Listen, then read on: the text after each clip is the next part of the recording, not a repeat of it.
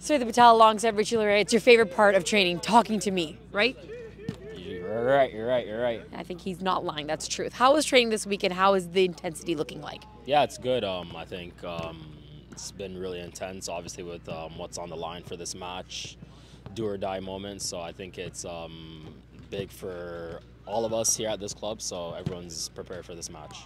LAFC, a tough place to play, but what are some positives that you guys took away from that game in order to incorporate it into on Sunday's match? Yeah, I think just the um, the way we fought back into the game, we scored two goals um, after they went up one 0 and then two one. So I think that's positive to do in a tough environment like that. So just more of that leading into um, this weekend, I think, is going to be a big theme for us. And yeah, like I said, I think all the guys are, are ready and up for this match. All right, thank you so much. Thank you.